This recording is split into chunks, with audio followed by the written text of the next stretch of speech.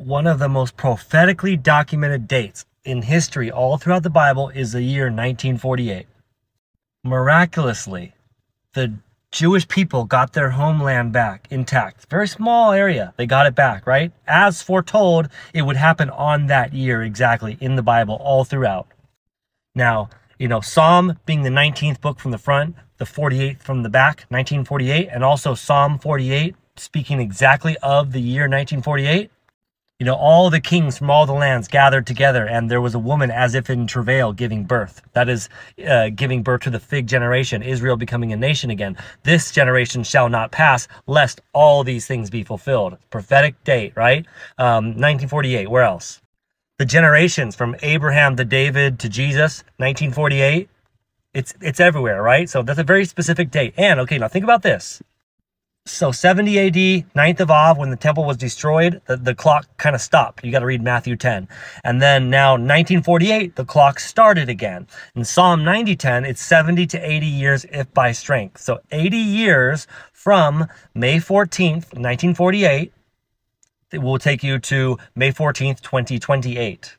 So remember, he will strengthen a covenant with many for seven years.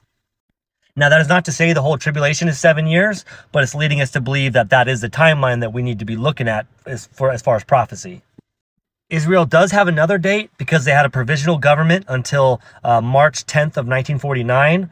They had a provisional government under the UN. But either way, 1948 is, is encoded all through the Bible, so it's leading me to believe that is a year, and that something's got to happen before the next Feast of Trumpets, which will take us into 5782.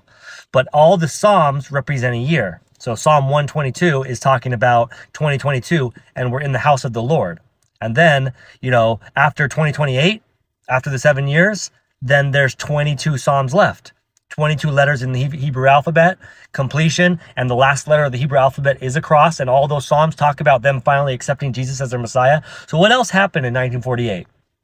Well, so 1947 all the way to like 56, the Dead Sea Scrolls were discovered the Dead Sea Scrolls that were set apart by the Essenes because they knew they had the prophecy of Daniel that Jesus was gonna that the Messiah was gonna come in riding on the donkey, but they thought he was gonna like destroy and do this. They didn't they they misinterpreted what it was, which they will understand soon.